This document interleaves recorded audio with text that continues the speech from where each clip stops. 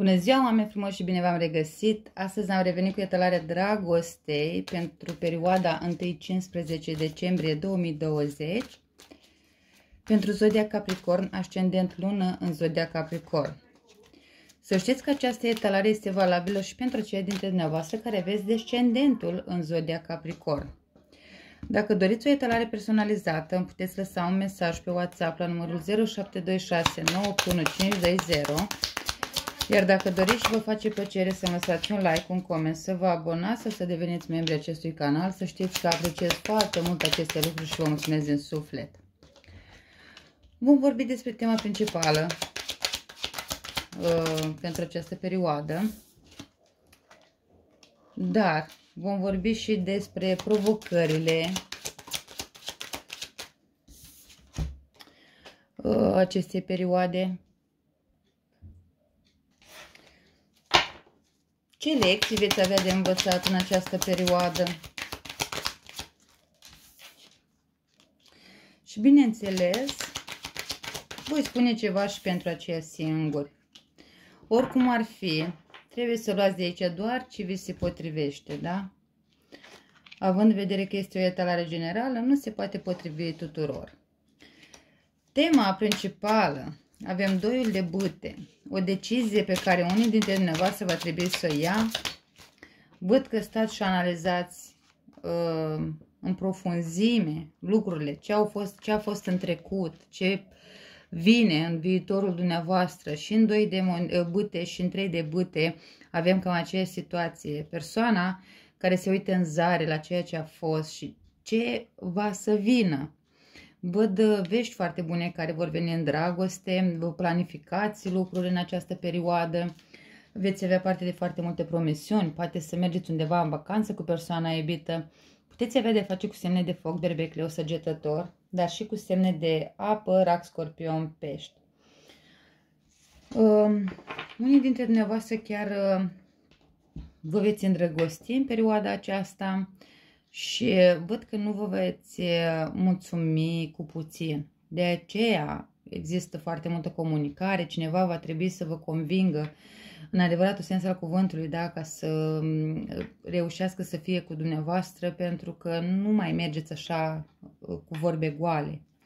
Haideți să vedem care vor fi provocările perioade. Avem un 5 de spade. Vă este teamă să nu pierdeți o bătălie, vă simțiți atacați, dar veți avea o reușită.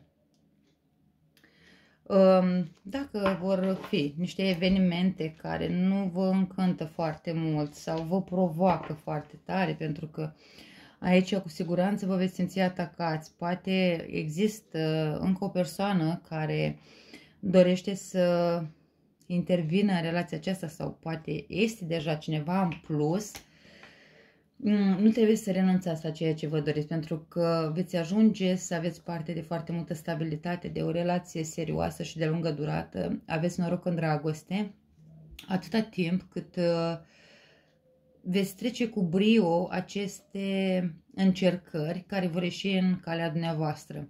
Fie vi se cere mai multă implicare într-o anumită relație, fie trebuie să fiți calmi într-o anumită dispută, pentru că văd tensiuni, tensiuni, da? tensiuni în anumite relații, doar așa veți reuși să o scoateți la capăt. Puteți avea de face cu semne de aer, gemeni balanță vărsător, cu semne de pământ, aur, fecioară, capricorn, dar și semne de foc în continuare, berbec, leu, săgetător. Haideți să vedem ce aveți de învățat în toată situația aceasta. Avem un 3 de monede, discuții, deci să știți că se pune mult baza pe comunicare ca să puteți depăși anumite neplăceri din punct de vedere sentimental, ca să puteți lua o decizie foarte bună, pentru că aici vă veți hotărâ. Deci în perioada asta sau perioada aceasta este decisivă pentru că veți face o schimbare majoră în viața dumneavoastră, văd mai multă hotărâre, mai multă determinare. Uh, dar vedeți, că aveți tendința să vă lăsați influențați de persoanele din jur sau persoana iubită să se lase influențată de oamenii din jur, de anumite zvonuri mm, și vă aduc așa această nemulțumire, această supărare și apăsare sufletească. Ce aveți dumneavoastră de învățat? Comunicați deschis cu persoana iubită și împreună decideți ce aveți de făcut. Pentru că aici mai pot apărea mici neînțelegeri, pentru că fiecare are o anumită viziune, dar dumneavoastră vedeți lucrurile dintr-un anumit punct de vedere, persoana iubită dintr-un alt punct de vedere și trebuie să ajungeți cumva într-un echilibru, într-o balanță și împreună să decideți ce aveți de făcut. Lăsați lucrurile așa sau uh, urmați un nou drum, da? Vă urmați destinul. Ce are persoana iubită de învățat? Trebuie să abandoneze o stare, o neliniște, o oboseală. Văd că această persoană este depresivă, are o gândire foarte negativă, ca și cum nimic nu va reuși. Văd semne de apă, scorpion, pește, racul care predomină, semne de aer, geme în balanță vărsător, dar și semnul zodiacal berbec. Cu siguranță vă trebuie un control uh, mare asupra sentimentelor, asupra conversațiilor, vă trebuie mai multă hotărâre și determinare pentru a reuși ceea ce vă doriți de la o anumită relație. Această persoană uh, va trebui să învețe să abandoneze aceste stări depresive, această supărare intensă, aceste neliniști și îngrădiri, pentru că are tendința să creadă că este dominată în relație și aici poate pierde. Sau, în alte situații, o anumită persoană are tendința să vă domine sau să dețină controlul total asupra relației și aici să aibă neplăceri pentru că dumneavoastră nu mai aveți de gând să acceptați astfel de comportament. Deci vreți uh, un echilibru, da? Nu-i nimeni mai presus sau mai prejos. Și văd că apare teama acestei persoane de a vă spune ceva. Este frică să nu abandonați, să nu-l abandonați sau să o abandonați.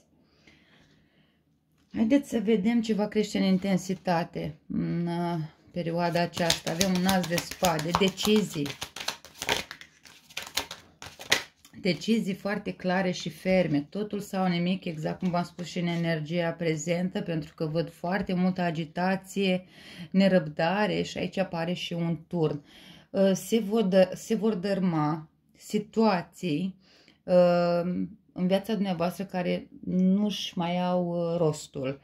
Aici um, se pune, veți resimți această presiune, dar va fi în avantajul dumneavoastră, chiar dacă deciziile pe care le veți lua în perioada aceasta nu vă sunt tocmai pe plac sau vă supără sau uh, simțiți că vi se dărâmă sau da, vi se dărâmă totul uh, sub picioare sau simțiți această presiune, această tensiune, pentru că e ca un șoc care vine în viața dumneavoastră, să știți că este spre binele dumneavoastră. Deci turnul vine să dărâme o situație care nu era sigură și să vă îndreptați spre mai multă stabilitate, siguranță, spre o relație ă, de lungă durată, văd semne de aer, geme în balanță vărsător, semne de foc, berbec, leu săgetător, dar și semne de pământ, aur, fecioară, capricorn. Deci lucrurile acestea vor crește în intensitate, discuții foarte serioase în urma cărora vă, e ca și cum vă, vă decideți destinul, soarta, ce urmează, important în viața dumneavoastră nu, mai, ă, nu să mai ă, treceți cu vederea lucrurile care vă deranjează.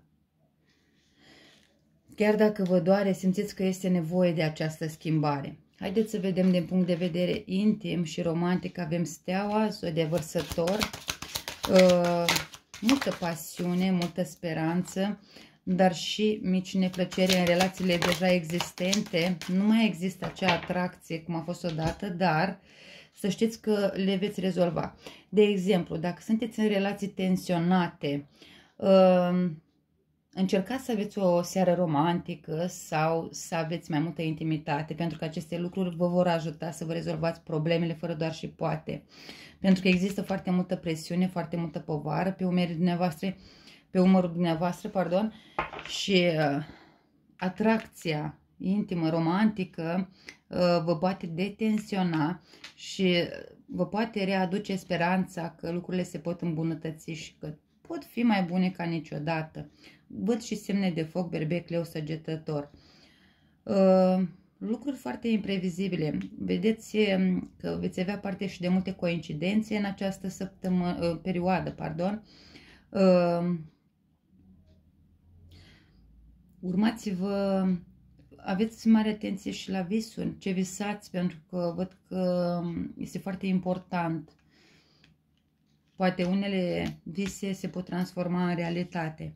Și haideți să vedem pentru cei singuri, văd o reușită, o stare de bine, dar trebuie să mai aveți puțină răbdare. Sunt șanse să cunoașteți pe cineva, dar uh, trebuie să ieșiți dintr-o zonă de stagnare.